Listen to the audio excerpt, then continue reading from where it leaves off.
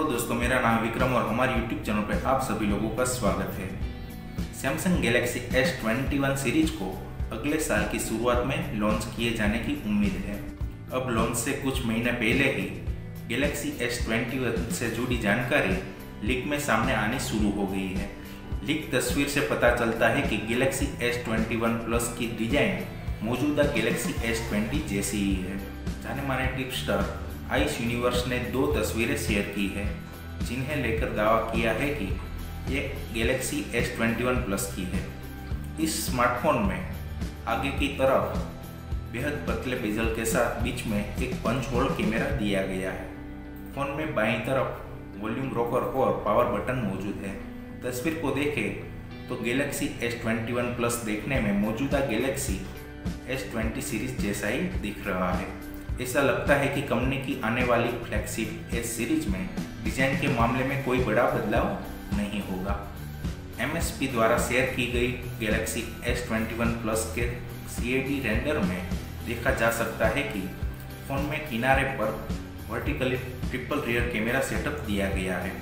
Phone में नीचे की तरफ़ यूएसबी टाइप सी पोर्ट और स्पीकर ग्रिल है। हैंडसेट की इस तस्वीर में कैमरा बम्प भी देखा जा सकता है। इस तस्वीर में भी फ़ोन का अगला हिस्सा टिप्सटर द्वारा शेयर की गई तस्वीर जैसा ही दिख रहा है। इन लिक्स के मुताबिक Galaxy S twenty one plus हाल ही में स्पॉट किए गए गैलेक्सी एस ट्वेंटी वन जैसा ही है। गैलेक्सी एस ट्वेंटी वन में भी इसी तरह की पंच होल डिस्प्ले और उभरा हुआ रियर कैमरा देखा गया था। हैंडसेट में कैमरा सेंसर के पास में एलईडी फ्लैश दिखा गया है। गैलेक्सी S21 सीरीज़ को अगले साल लॉन्च किया जाना है।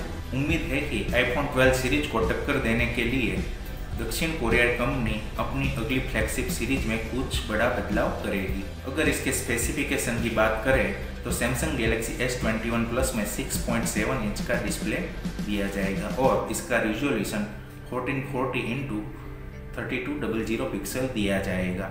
इसमें एट जी का रैम और one twenty eight G internal storage है, जिसे माइक्रो एच कार्ड के ज़रिए बढ़ा सकते हैं। सैमसंग का यह handset Android version 10 operating system पर चलता है और हैंडसेट को पावर देने के लिए पैंतालीस सौ की बैटरी दी गई है।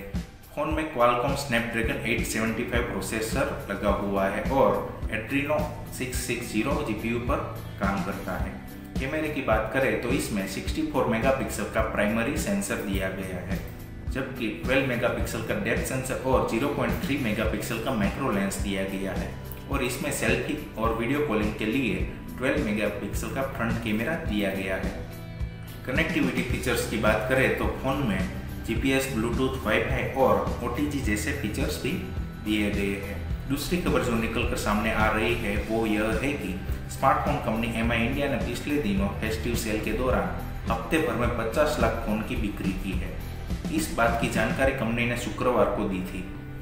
ई कॉमर्स कंपनी फ्लिपकार्ट और अमेजोन ने अपनी पहली फेस्टिव सेल 16 अक्टूबर से शुरू की थी। इसमें फ्लिपकार्ट की सेल 21 अक्टूबर को खत्म हो गई। एम इंडिया ने एक बयान में कहा है कि देश भर में यूज़र्स अमेजोन और फ्लिपकार्ट के अलावा पंद्रह हज़ार से अधिक रिटेल शॉप से भी उनके फ़ोन खरीद सकते थे। जबकि इन दोनों कंपनियों के अलावा एम ने देश के सत्रह हज़ार पिन कोड तक लोगों को फ़ोन पहुँचाने में मदद की है। एम इंडिया के chief business officer Raghu Reddy ने कहा 50 लाख ग्राहकों का हमारे प्रोडक्ट पर भरोसा जताना अपने आप में एक उपलब्धि है। जहाँ तक हमें मालूम है और किसी भी ब्रांड ने पहले ऐसा कीर्तिमान स्थापित नहीं किया होगा। हम उचित मूल्य पर लोगों को अच्छी क्वालिटी वाले प्रोडक्ट देना जारी रखेंगे। इस सेल में बिक्री के मामले में कंपनी ने OnePlus Samsung, Vivo, Oppo जैसी कंपनियों को पीछे छोड़ दिया है। कंपनी का कहना है कि आगे भी अपने ऐसे ही प्रोडक्ट्स के साथ बिक्री ये रिकॉर्ड जारी रखेगी।